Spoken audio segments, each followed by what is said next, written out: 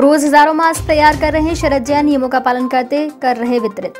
बालाघाट ज़िले के मालज खंड निवासी शरद जैन बिना किसी स्वार्थ के रोज हज़ारों मास्क बना रहे हैं और सोशल डिस्टेंसिंग का पालन करते वितरित कर रहे हैं। मलाज खंड निवासी शरद उर्फ़ जैन पेशे से टेलर है, कोरोना वायरस संक्रमण से बचने के लिए लोगों को मास्क पहनने की समझाइश दी जा रही है। किंतु ज़िले के दूरस्थ वनांचलों में इसकी उपलब्धता संभव नहीं है जिसे ध्यान में रखते हुए शरद जैन परिवार सहित हर रोज हज़ारों मास्क बना रहे हैं। मास्क वितरण के समय सोशल डिस्टेंसिंग का पालन हो इसीलिए तैयार मास्क अस्पतालों स्वास्थ्य केंद्र थाना तथा किराना दुकान वालों को मुफ़्त बांटने के लिए दे रहे हैं।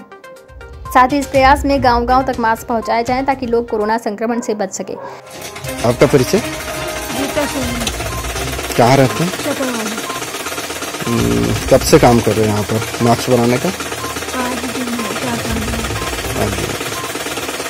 तो इसके एवज में आपको कुछ निःशुल्क कर रहे हैं?